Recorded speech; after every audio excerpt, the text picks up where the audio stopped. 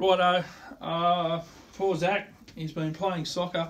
Um, he's really not very good at soccer, um, and someone's kicked the crap out of him. He has a fractured tib, tib fib, a little bit of a jelly leg. What I would normally do is cut and cut and just pull this right out of the way. We're not going to do that to Zach today. All right, now we're going to pop on a leg splint. We've given him, um, we've done gone through, done all our assessments. He's got a heap of pain relief on board. He's quite happy at the moment. Uh, the screaming has stopped. We need to pop his leg into a splint. Now, this is a Ferno leg, uh, long leg box splint. Um, this has been well, well used. Um, you'll see different versions of this around the place. That's what they look like flat. This is one that we've prepared earlier. Um, and basically what we would do with this is this is going to sit right in and this is going to splint his leg the whole way along. So, that's made up, ready to go. Grab a trauma pad. These are normally the best things for this. But if you don't have um, enough or a trauma pad big enough, maybe even a blanket or something, just to provide a little bit of relief because this part um, is going to hurt. This is where we actually lift his leg up and pop his leg in and then it sits in and needs to bed into this shape a little bit.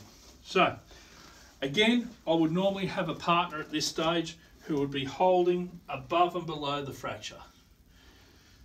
Okay, so you're just going to have to imagine that partner at the moment. Imagine they're a bit better looking than me. So I've got my partner up and basically what I've done, they've got the leg up and I just slide that in there. And that's now in place. Easy. You now need five bandages. One, that's the ankle strap. And the rest of them, triangular bandages, pull them out and just have them in half. So that one's going there.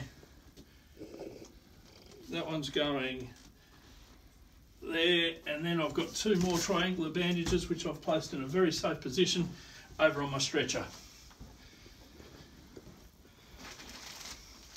Coming back.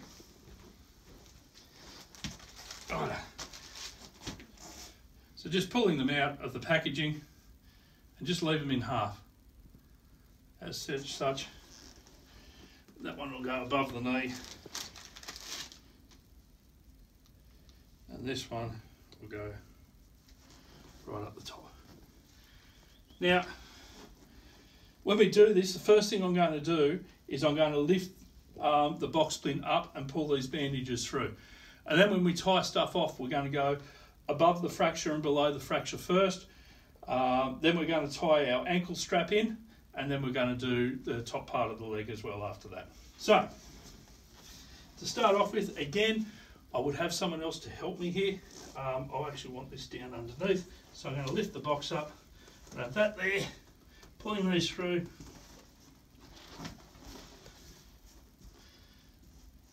And dropping it back down again in the nicest possible way.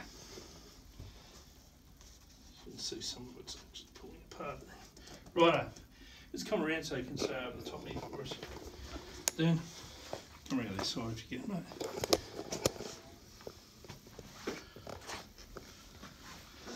There's the fracture site there. I'm going to go above first. So what I do is I pull this this through, put it on that side of the loop, and then pull this side through, put it on the other side of the loop, pull them in and just tighten them. Same again, this in through to there, this in through to there, and just tighten it. Okay, they'll get tightened again. That's not the end place. They'll get tightened again. That's why I haven't tied them off yet. So this, just around over the top and then tied at the bottom.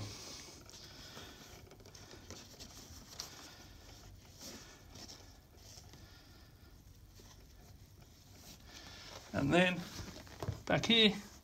So his knee's right there so I'll probably put this right on top of his knee. Again. Through that side. That side. And pull. Again.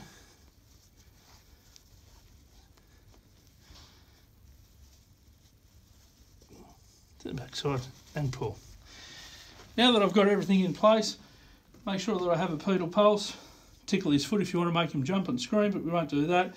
Everything's in good. Squeeze his toes. Yes, I have the right perfusion. So I'm down there going to go back above the knee first, tighten that, and then tie it off. Bottom, tighten that, tie it off. Tighten and tie it off, and tighten and tie it off. Check again because we've moved it. Make sure he's, it's reasonably straight and he's in good spirits. He's not screaming in agony or anything like that. That's a box splint done. Hey!